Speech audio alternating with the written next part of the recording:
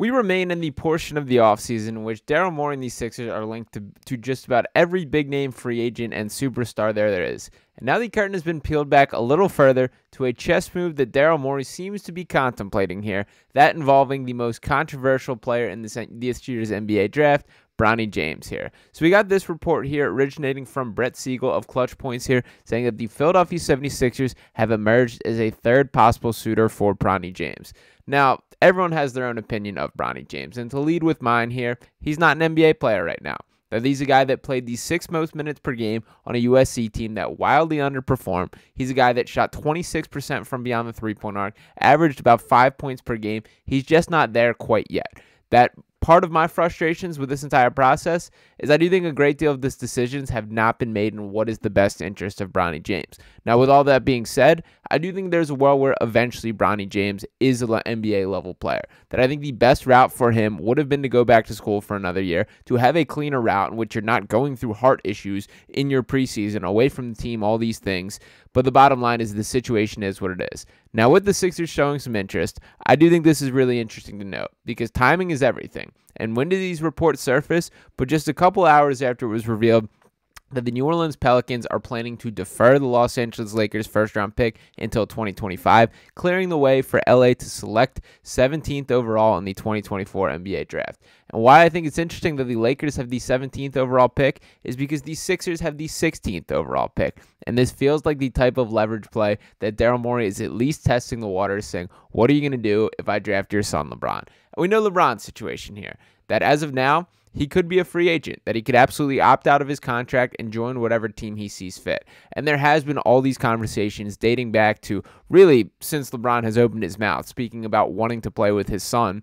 Now, to LeBron's, I guess, credit here, or just laying out the situation as a whole, that the the Lakers, LeBron, and Bronny James himself have all done and made an effort to kind of distance that. And for a quote that we have from Brian Windhorst here, he says, "quote Over the last few months, Rich Paul, who's the agent for LeBron and Bronny James, has made an effort." To part the concept that drafting Bronny James means you're getting LeBron. I do believe LeBron's going to opt out of his contract, and leaving optionality for playing with Bronny is on the list, but I don't think it's at the top. I do think he's going to be back with the Lakers. So for Bronny's sake here, I feel bad for him personally, and I do think that it is notable that it is LeBron's goal to play with his kid. It might not be Bronny's goal to play with his dad. And I also feel bad from the standpoint for he's attempting to fill quite literally the group, the biggest shoes in NBA history. That no matter how great Bronny James is, he's never going to be his father. And all indicators we're seeing, he likely isn't going to be all that close. That I do think the mold that he's going to follow as a basketball player is more of kind of this Kentavious Caldwell Pope type role player, which still can be an excellent and valuable basketball player, but it's certainly not LeBron James. Now, as we bring in this whole conversation, I do have to shift gears to Clutch Sports here. Now, I am not a fan of Clutch Sports and their management, and most specifically, Rich Paul being at the heart of it. Now, one of the quotes that he rubbed me the wrong way with already during this pre draft process was here saying that Rich Paul says he has zero interest in his client, Bronny James, signing a two way contract. Quote, teams know that. I'm not doing that. And this once again circles back to the power balance between agents and players. That it should never be confused that Rich Paul, you work for Bronny James. Bronny James does not work for you. And if the best route for Bronny James is to sign a two way contract, that is what should be done. And to be perfectly honest, I think that would be a pretty great situation for Bronny James. That he's just not NBA ready right now, and the goal should be to bring him to where he is. If that's taking time and spending it in the G League, then so be it. And yes, I understand you could have a standard NBA contract be sent down to the G League. I understand Rich Paul's mindset here that he wants the most guaranteed money for his clients.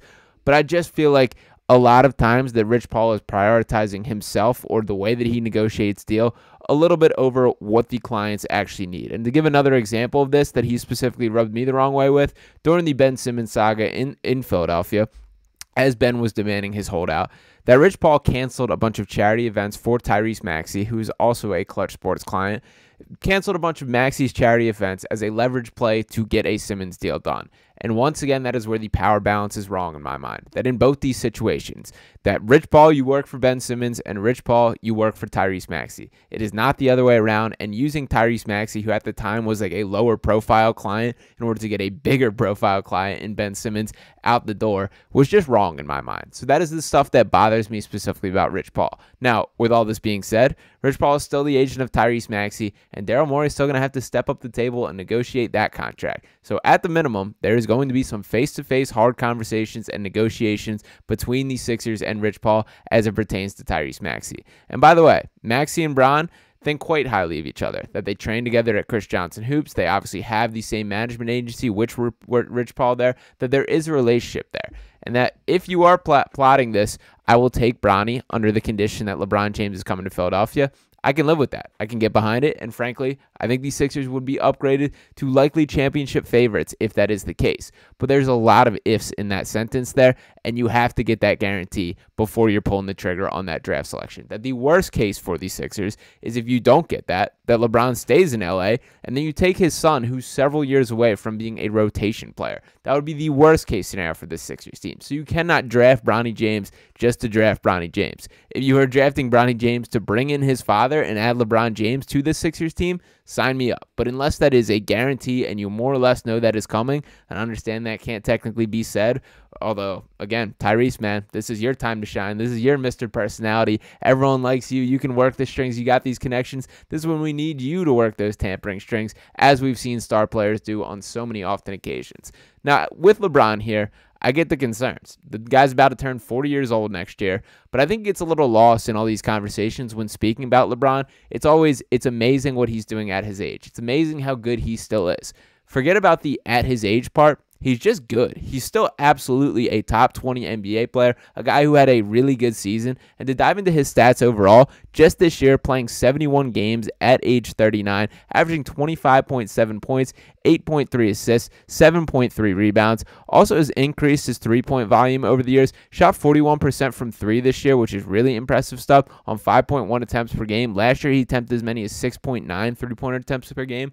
And what we could see with LeBron James here is there will be the nights where he can coast, where he can pass the baton, allow Tyrese Maxey and Joel Embiid to do their thing, carry the scoring load, and there will be the nights where he will be necessary to this team. That there's no doubt you can't find a player in NBA history with the amount of experience and amount of championship experience as LeBron James. Adding him to that Sixers core, pairing him with guys that he seems to like, Tyrese Maxey specifically here that I'm really referencing, and seems to be at least some sort of respect to Joel Embiid, that there is no sort of hatred there it has to be a little bit appealing to him. That I think, even with the Lakers, who aren't the worst team in the NBA, there's certainly situations better than them. I think it's very fair to say that if LeBron's dead set and wants another championship ring, you have a better chance right here in Philadelphia than you do hanging out there in Los Angeles. And if your son is coming to the party and being a part of the team as well, it could be an appealing offer to throw his way. But I bring all this up to say is Daryl Morey is creating every option possible. That this very much feels like a play where he's a little bit testing the waters. These don't feel like reports of the Sixers are absolutely going after Bronny James. It feels like Daryl Morey is sticking it out there saying, what would happen if I do? So, LeBron, I know you're talking this tough game that you, you're not as content of following your son wherever he goes, but what if where he's going is Philadelphia? Would that change things there? So, in my mind, once again, my ultimate conclusion here I need that to be certain. That I need Daryl Morey or Tyrese Maxey or whoever needs to know in this situation to know that if the Sixers are going to take Bronny James, that it coming with a package deal. If there's no guarantee and they waste the 16th pick on a guy that, frankly, I think likely three years down the line might be a rotation piece, that's a really bad decision. But who knows what conversations are going around in the hallways right now. I know there were some reports of both Daryl Morey and Elton, Elton Brand flying out to Los Angeles last week, so I don't know anything more than that. We will see how things shake out, but this is certainly a noteworthy story to follow, and I'm curious what the leaks are from now until the draft. If the Sixers continue to hear their name in, in discussions, there might be a little bit of smoke to this. For the time being, we're going to pump the brakes and think about it, but if LeBron James can come to Philadelphia, you do it 10 times out of 10.